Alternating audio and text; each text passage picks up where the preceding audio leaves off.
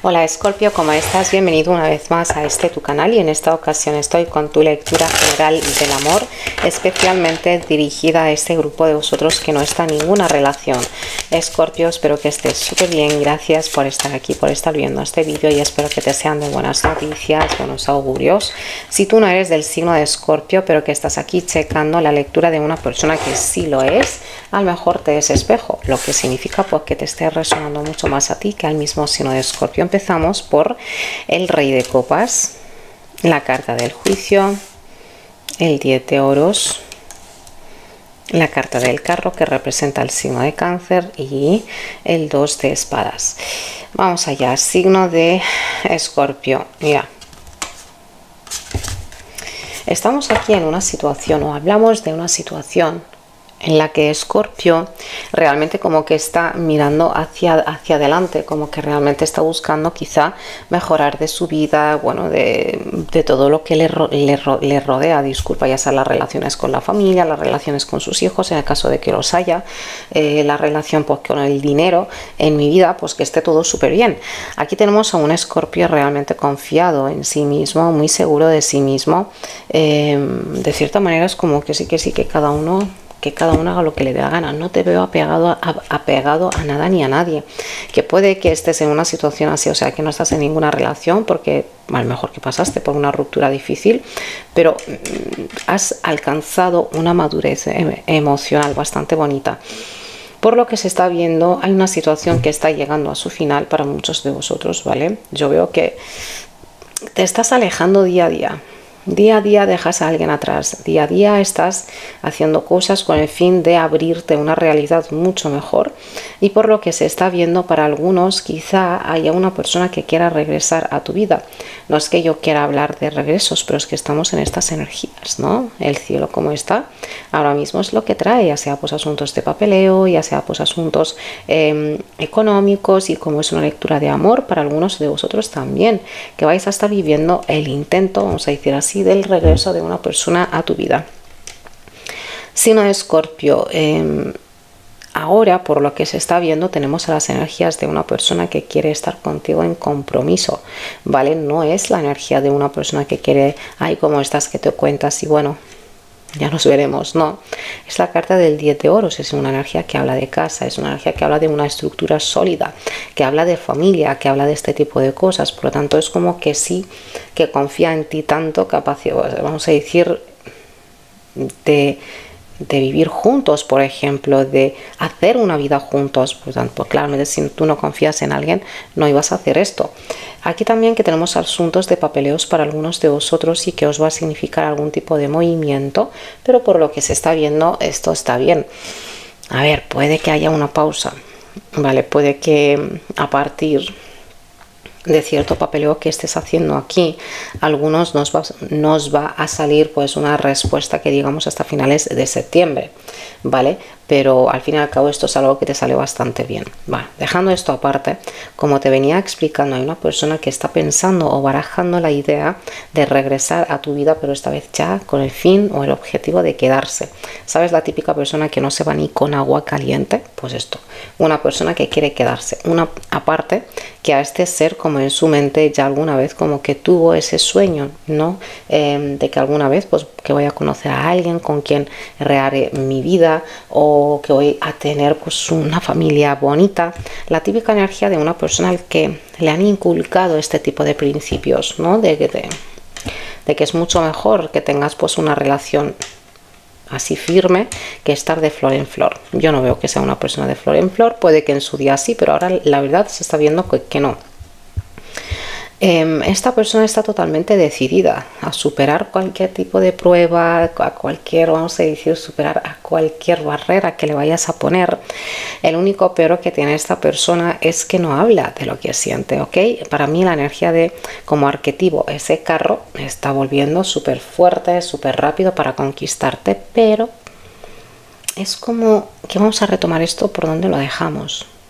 Y esto pues muchas veces es que dices, pues no, retomarlo no, es que necesitamos aquí hablar de ciertas cosas, el averiguar si eres capaz o yo soy así capaz de aguantar o de dejar una situación o una actitud o lo que sea.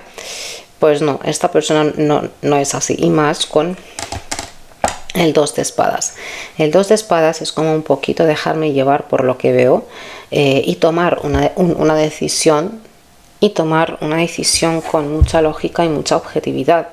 A ver, aquí tenemos mucha energía de dualidad también, que probablemente esta persona esté en, otra situación.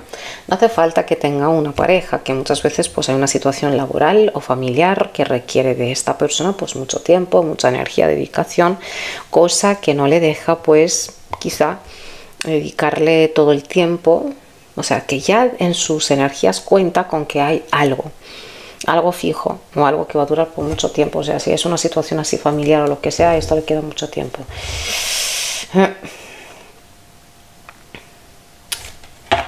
Este, a ver, ¿qué sabes?